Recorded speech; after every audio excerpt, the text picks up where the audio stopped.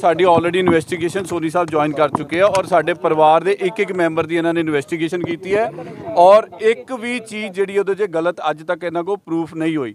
ਜੇ ਹੋਈ ਹੁੰਦੀ ਤੇ 8 ਮਹੀਨੇ ਪਹਿਲਾਂ ਪਰਚਾ ਕਰ ਦਿੰਦੇ ਔਰ ਕੋਈ ਸਾਨੂੰ ਡਰ ਨਹੀਂ ਕਿਸੇ ਚੀਜ਼ ਦਾ ਨਹੀਂ ਪਰਚੇ ਲੋਕਾਂ ਦੇ ਹੁੰਦੇ ਨੇ ਕੋਈ ਗੱਲ ਨਹੀਂ ਫਿਰ ਕਿਹੜੀ ਗੱਲ ਹੈ?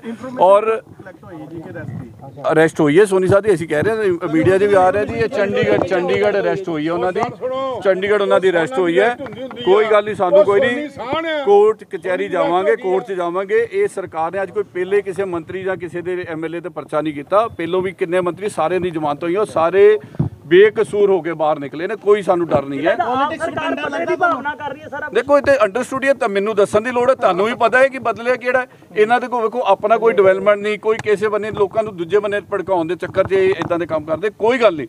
ਸਰਕਾਰ ਆਈ ਹੈ ਕੱਲ ਨੂੰ ਜਦੋਂ ਆਪਣੀਆਂ ਆਉਣਗੇ ਫਿਰ ਅਸੀਂ ਵੀ ਕਰ ਲਾਂਗੇ ਕੋਈ ਗੱਲ ਨਹੀਂ ਫਿਰ ਬਿਲਕੁਲ ਦੇਵਾਂਗੇ ਕੋਰਟ ਕੋਰਟ 'ਚ ਸਾਡਾ ਰਾਈਟ ਹੈ ਅਸੀਂ ਕੋਰਟਾਂ 'ਚ ਜਾਵਾਂਗੇ ਸਾਡਾ ਰਾਈਟ ਬਣਦਾ ਹੈ। ਆਪਣਾ ਰਾਈਟ ਅਸੀਂ ਪੂਰਾ ਲਵਾਂਗੇ ਕੋਰਟ 'ਚ ਜਾਵਾਂਗੇ ਕਚਹਿਰੀ ਸਾਰੀ ਕੋਰਟ ਹੈ ਜੁਡੀਸ਼ਰੀ ਹੈ ਹਾਈ ਕੋਰਟ ਮਾਨਯੋਗ ਸਾਡੀ ਸਾਡੀ ਹਾਈ ਕੋਰਟ ਹੈ ਜਿਹੜੀ ਕੋਰਟ 'ਚ ਜਾਣਾ ਪਵੇਗਾ ਜਾਵਾਂਗੇ। ਬਦਲੇ ਦੀ ਰਾਜਨੀਤੀ ਨਹੀਂ ਸ਼ੁਰੂ ਹੋ ਗਈ ਬਦਲਾਵ ਦੀ ਮੈਂ ਇਹ ਦੇਖੋ ਜੀ ਇਹ ਹੁਣ ਤੁਹਾਨੂੰ ਇਹਦਾ ਜਵਾਬ ਅੱਜ ਤੋਂ 2-4 ਦਿਨ ਬਾਅਦ ਚ ਦਵਾਂਗਾ ਸਾਨੂੰ ਪਹਿਲਾਂ ਕੋਰਟ ਆਪਣੇ ਲੀਗਲ ਓਪੀਨੀਅਨ ਲੈ ਕੇ ਕਿਉਂਕਿ ਅਸੀਂ ਇਸ ਚੀਜ਼ 'ਤੇ ਪ੍ਰਪੇਅਰ ਨਹੀਂ ਸੀ।